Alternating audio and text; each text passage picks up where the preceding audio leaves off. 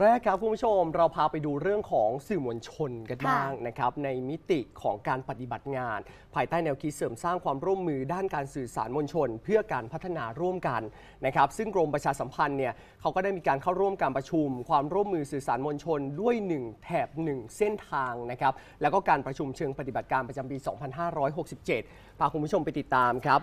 นางสุดฤทัยเลิศเกษม อธิบดีกรมประชาสัมพันธ์ พร้อมด้วยคณะผู้แทนกรมประชาสัมพันธ์ เข้าร่วมการประชุมความร่วมมือ สื่อสารมวลชนว่าด้วย 1 แถบ 1 เส้นทาง และการประชุมเชิงปฏิบัติการประจำปี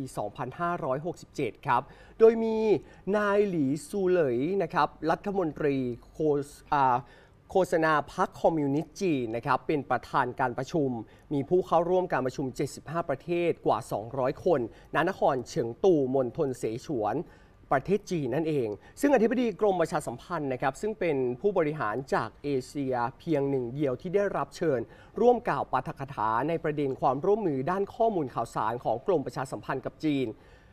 แล้วก็เป็นการส่งเสริมความเข้าใจซึ่งกันและกันด้วยนะครับ ระหว่างประชาชนของทั้งสองฝ่ายเสมอมา ผ่านการสร้างความร่วมมือกับพันธมิตร บันทึกความเข้าใจกับสื่อของจีนทั้ง 5 ฉบับทำให้ได้เรียนรู้ซึ่งกันและกัน และก็แลกเปลี่ยนข่าวสารและข้อมูล โดยไม่มีขอบเขตจำกัด ตามแนวทาง 1 แถบ 1 เส้นทาง และในยุคแห่งการเปลี่ยนแปลงของสื่อกรมประชาสัมพันธ์ ในฐานะหน่วยงานสื่อของรัฐบาล ที่ต้องมีการปรับตัว และก็ตอบสนองความต้องการของกลุ่มเป้าหมาย ส่งเสริมข้อมูลที่ถูกต้อง และก็รับมือกับข่าวปลอม ในฐานะแหล่งข้อมูลที่เชื่อถือได้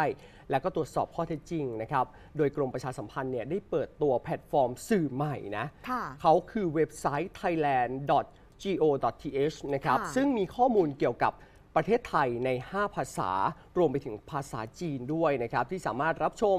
คลิปวิดีโอ แล้วก็เนื้อหาที่เกี่ยวข้องทางออนไลน์ แล้วก็เพจของ Facebook NBT World แล้วก็ PR Thai Government ซึ่งกรมเนี่ย กรมประชาสัมพันธ์พร้อมเป็นแหล่งข้อมูลช่วยตรวจสอบข้อเท็จจริงนะครับให้กับทุกองค์กรทั่วโลกแล้วครับ ซึ่งการประชุมนะคะจะเกิดขึ้นในระหว่างวันที่ 28 สิงหาคม ไปถึงวันที่ 1 กันยายน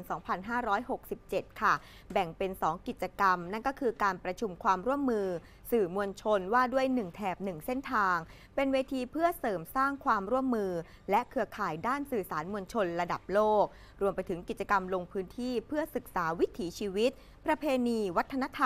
รมและการพัฒนาประเทศของจีนในด้านต่างๆ กิจกรรมนี้นะคะจัดขึ้นโดยหนังสือพิมพ์ People's Daily นะคะของสาธารณรัฐประชาชนจีน เป็นหน่วยสื่อที่มีสำนักงานในกรุงเทพมหานคร แล้วก็มีผู้สื่อข่าวลงทะเบียนกับกรมประชาสัมพันธ์ เป็นพันธมิตรด้านสื่อมวลชนค่ะ รวมทั้งเป็นกำลังสำคัญในการที่จะช่วยเผยแพร่ข้อมูลข่าวสาร ด้านความร่วมมือระหว่างไทยกับจีน ทั้งภาคภาษาอังกฤษ แล้วก็ภาคภาษาจีนนะคะ ผ่านทางเว็บไซต์ของหนังสือพิมพ์ People Daily เพื่อสร้างการรับรู้แล้วก็ความเข้าใจ